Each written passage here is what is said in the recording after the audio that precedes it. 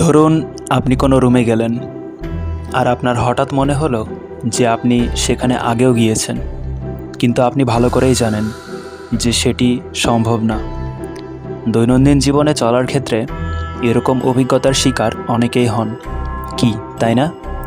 আজকে কথা বলব এই অনুভূতি নিয়ে।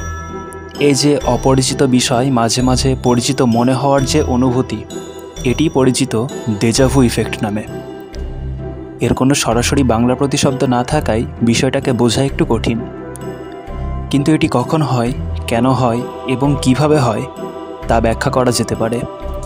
আঠারোশো ছিয়াত্তর সালে এমিল বোর্যাক নামে একজন প্যারাসাইকোলজিস্ট প্রথম দেজাভু শব্দটি ব্যবহার করেন। বহুদিন পর্যন্ত এটি একটি মানসিক রোগ এবং প্যারানর্মাল অ্যাক্টিভিটি হিসেবে পরিচিত ছিল। বিস্তর গবেষণার পরে জানা যায় বিশ্বের দুই তৃতীয়াংশ মানুষ জীবনে একবার হলেও দেজাভু ইফেক্টের অভিজ্ঞতার শিকার হন। তবে কিছু বিশেষ সময়ে এই অভিজ্ঞতা ঘটার সম্ভাবনা প্রবল থাকে। যেমন, কোথাও ঘুরতে যাওয়ার সময় অনেকে দেজাভু ইফেক্টের শিকার হন। এছাড়াও, বয়সের সাথেও দেজাভু ইফেক্টের নিবিড় সম্পর্ক বিদ্যমান। গবেষণায় দেখা গেছে, তরুণ বয়সীদের বেশি দেজাভু হয়। হ্যাঁ বন্ধুরা।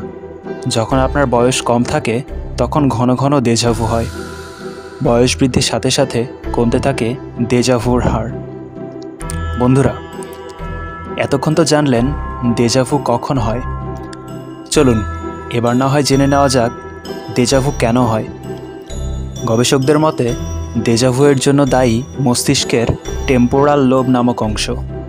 মস্তিষ্কের এ অংশ থেকে যখন কোনো স্মৃতির সংকেত যায় যেটা আসলে তখন যাওয়ার কথা না, তখনই শুরু হয় বিভ্রান্তি। মনে হয় কোথায় যেন দেখেছি আগে। তবে আরও কিছু তত্ত্ব দিয়ে দেজাভুকে বিজ্ঞানীরা ব্যাখ্যা করতে চান। কারও কারও মতে, দুটি সমান্তরাল মহাবিশ্ব বা প্যারালাল ইউনিভার্স এর সংঘাতে দেজাভু হয়। কারও মতে, এটি পুনর্জন্মের সাথে সম্পর্কিত। দেজাভু কিন্তু কেবলমাত্র দৃষ্টি বা চোখে দেখার মধ্যে সীমাবদ্ধ নয়। অনেক সময় কোনো শব্দ শুনলেও আমাদের তা পরিচিত মনে হয়।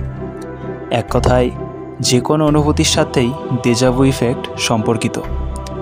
তবে বিভিন্ন গবেষণা ও তত্ত্ব থেকে সাধারণ ধারণা পাওয়া গেলেও দেজাভু ইফেক্ট কারও পক্ষেই বিস্তারিত ব্যাখ্যা করা সম্ভব হয়নি আজ পর্যন্ত।